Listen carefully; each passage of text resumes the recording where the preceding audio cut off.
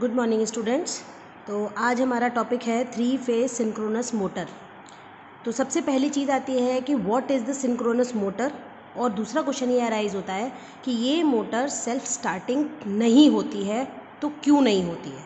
ठीक है? तो जब हम बात करते हैं बेटा सिंक्रोनस मोटर की तो दो चीज़ें हमेशा अपने माइंड में रखेंगे, क्योंकि जब हम बात कर रहे हैं किसी भी मशीन की तो उसमें दो चीज़ें बहुत इंपॉर्टेंट होती हैं. One is a stator another one is a rotor normally her motor में जो स्टेटर होता है, वो फ़ील्ड होता है रोटर होता है, वो आर्मेचर होता है। Synchronous motor is the only machine जिसमें ये दोनों चीज़ें इंटरचेंज कर दी जाती हैं। यानी स्टेटर आर्मेचर बन जाता है एंड रोटर फ़ील्ड बन जाता है। यानी फ़ील्ड का मतलब हुआ कि रोटर के पोल्स फिक्स्ड होंगे। अगर टू पोल मशीन है तो नॉर्थ एंड साउथ फिक्स्ड होंगे, बनाने की ज़रूरत नहीं पड़ेगी। But in case of armature, यानी स्टेटर, हमें पोल्स क्रिएट करने पड़ेंगे with the help of supply. ठीक है? तो अब यहाँ पर दो चीज़ें हमेशा क्लियर, पहली चीज़ क्लियर हो गई कि स्टेटर आर्मेचर होता है और रोटर फ़ील्ड होता है। Now the question arises three phase synchronous motor not self starting. ये क्वेश्चन हमारा अराइज होता है कि three phase synchronous motor not self starting. तो ये क्यों सेल्फ स्टार्टिंग नहीं होती है, ये हम लोग डिस्कस करना शुरू करते हैं। तो इसके लिए हम सबसे पहले एक छोटा सा न्यूमेरिकल लेते हैं। One twenty F upon P.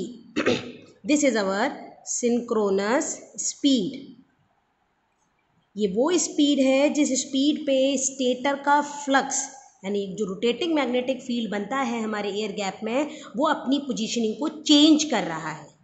है ना? क्योंकि these are three phase synchronous motor ये थ्री फ़ेज़ मशीन्स हैं तो थ्री फ़ेज़ मशीन्स का मतलब हुआ यहाँ पर जो फ्लक्स हो रहा है, वो थ्री फेजेस में जनरेट हो रहा है five R five Y and five B और ये तीनों फेजेस में हमारा जो फ्लक्स जनरेट हो रहा है, ये तीनों फेजेस में आर के बाद वाई वाई के बाद बी बी के बाद आर ये बार बार अपनी पोजीशंस को क्या कर रहा है? चेंज कर रहा है एट अ पर्टिकुलर एंगल तो वो जो पोजीशनिंग चेंज हो रही है, वो जिस स्पीड से चेंज हो रही है that speed is known as synchronous speed जिसका फॉर्मूला होता है हमारा 120 twenty F upon P this speed must be constant ये स्पीड हमारी कॉन्स्टेंट होती है because F is a frequency और किसी भी मशीन यानी किसी भी सिस्टम की, जब हम एसी की बात करते हैं तो फ्रीक्वेंसी फिक्स्ड होती है फिफ्टी हर्ट्स और P is a poles pole भी हर मशीन के फिक्स होंगे. At the time of manufacturing poles fixed हो जाते हैं. टू पोल मशीन है फोर पोल मशीन है सिक्स पोल मशीन है. तो पोल्स आर फिक्स और one twenty is a constant value तो एन एस यानी वन जो हमारी सिंक्रोनस स्पीड है, ये हमेशा एक कॉन्स्टेंट स्पीड प्रोवाइड करती है.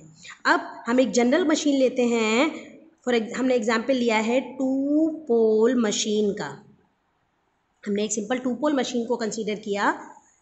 तो अगर मैं यहाँ से इसकी स्पीड को कैलकुलेट करती हूँ तो frequency is fifty pole is two तो हमारी स्पीड निकल कर आई three thousand R P M और अगर मुझे इसे सेकंड्स में बदलना हो तो मैं जस्ट सिक्सटी से डिवाइड करूँगी इसको तो स्पीड निकल कर आई फिफ्टी आर पी एस यानी आप ये समझ पा रहे हैं कि एक सेकंड में हमारी मशीन के पोल फिफ्टी टाइम्स चेंज हो रहे हैं। इस स्पीड से क्या फ़र्क पड़ता है? पता चलता है कि इन वन सेकेंड जो स्टेटर पोल्स हैं stator poles change their position fifty times यानी एक सेकेंड में स्टेटर के पोल 50 टाइम्स चेंज हो रहे हैं विच इज़ वेरी फास्ट बहुत तेज़ी से चेंज हो रहे हैं। अब इसी कॉन्सेप्ट पे हम अपने सिंक्रोनस मोटर की बात करते हैं तो हम एक जनरल कंडीशंस बनाते हैं। फॉर एग्ज़ाम्पल छोटा सा एक सर्किट बनाते हैं अपना। ये हमने एक स्टेटर तैयार किया।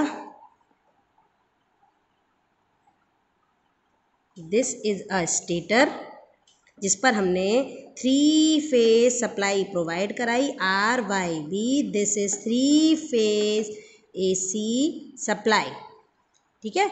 और यहाँ है हमारा रोटर दिस इज़ रोटर क्योंकि हम टू पोल मशीन का एग्ज़ाम्पल लिया था तो हमने यहाँ पर रोटर भी अपना टू पोल का ही लिया है। This is a rotor and this is a stator और ये जो बीच में बन रहा है, आपका ये एयर गैप है। अब रोटर के pole is already fix this is N two this is S two और स्टेटर के पोल क्रिएट किए जा रहे हैं according to the positioning for example अभी यहाँ पर मैंने एन वन और एस वन पोल कंसिडर कर लिए अब अगर आप ध्यान से देखेंगे, इन दोनों के बीच में मैग्नेटाइजेशन होगा, ये नॉर्थ पोल है, ये भी नॉर्थ पोल है, यानी ये नॉर्थ पोल इस नॉर्थ पोल को आपका रिपेल करेगा। रिपेल करेगा मतलब ये नॉर्थ पोल इधर घूमने की कोशिश करेगा।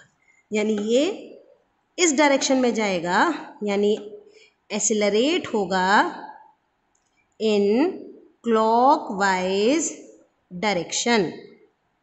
यानी रोटर हमारा क्लॉकवाइज डायरेक्शन में घूमने लगेगा। बट जैसे ही this is a instant A हमने इस इंस्टेंट को नाम दिया है इंस्टेंट ए यानी लेकिन जब तक ये रोटर क्लॉकवाइज डायरेक्शन में घूम रहा है, इसकी दूसरी पोजीशन तैयार हो जाएगी, जिसे हम दूसरे इंस्टेंट को क्रिएट करते हैं. हमने फिर से एक डायग्राम क्रिएट किया अपना.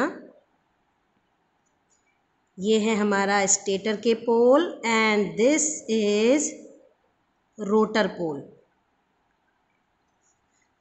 this is three phase AC supply. N2 and S2 are fixed, यानी rotor pole are fixed. But अब अगर आप ध्यान से देखेंगे इंस्टेंट बी पॉजिटिव से निगेटिव सप्लाई होते ही जो पोल नॉर्थ था, वो साउथ में बदल गया और जो साउथ था, वो नॉर्थ में बदल गया। ठीक है ना?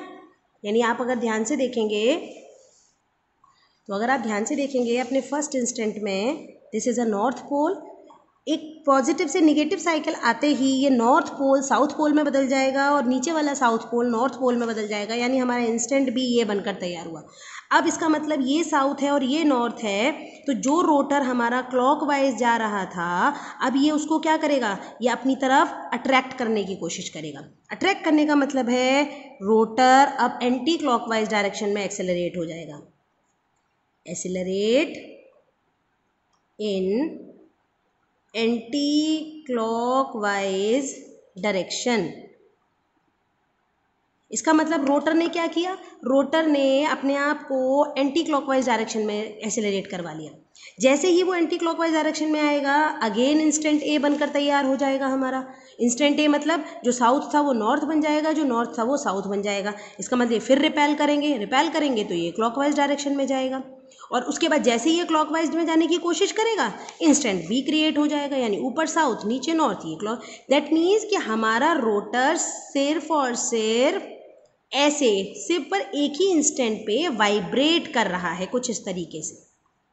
और जब तक ये रिस्पॉन्ड नहीं करेगा, ये फोर्स के साथ रिस्पॉन्ड नहीं करेगा, तब तक ये रोटेट नहीं हो पाएगा।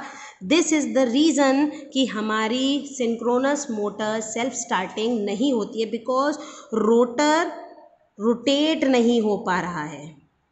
यानी वो उतना फोर्स क्रिएट नहीं कर पा रहा है जिससे कि वो रोटर को रोटेट करा सके। दिस इज़ द रीज़न जिसकी वजह से हमारी सिंक्रोनस मोटर सेल्फ स्टार्टिंग नहीं होती है। ठीक है ना? तो इसका मतलब इसको स्टार्ट कराने का जो तरीका हुआ, वो स्टार्ट कराने के लिए हमें क्या करना पड़ेगा? स्टार्टिंग मेथड यानी स्टार्ट कराने के लिए हमें क्या करना पड़ेगा? सिंपल मैग्नेटिक लॉकिंग यानी रोटर और स्टेटर के पोल को सेम टाइम पर चेंज किया जाए। जिससे कि दोनों के बीच में एक फोर्स ऑफ़ अट्रैक्शन क्रिएट हो जाए और वो फोर्स ऑफ़ अट्रैक्शन इतना इतना स्ट्रांग हो कि उन दोनों के बीच में एक मैग्नेटिक लॉकिंग हो जाए। This is R by B for example है ना? और यहाँ पर भी हमने एक कॉयल कनेक्ट किया, एक वायर कनेक्ट किया सिंपल डीसी सप्लाई क्रिएट कर दी तो यहाँ पर हमने क्या किया? For example this is S two pole this is N two pole this is N one pole this is S one pole और ये है उनकी स्पीड रोटेशन की। तो हमने यहाँ पर एक सिंपल डीसी सप्लाई को प्रोवाइड कराया। रोटर को सिंपल एक एक्सटर्नल डीसी सोर्स से एक्साइट कराया। सिर्फ़ इसलिए कि ये उतनी देर तक इस पोल को इस पोल के साथ अट्रैक्ट करके रख सके। यानी यहाँ पर फॉर एग्ज़ाम्पल अगर ये है हमारा स्टेटर पोल और ये है हमारा रोटर पोल तो इनके बीच में इतना फोर्स ऑफ़ अट्रैक्शन क्रिएट हो जाए फोर्स ऑफ़ अट्रैक्शन कि ये क्या करने लगे? ये एक दूसरे को, अब ये रोटर इसके साथ ही अपनी पोजीशन को चेंज करने लगे।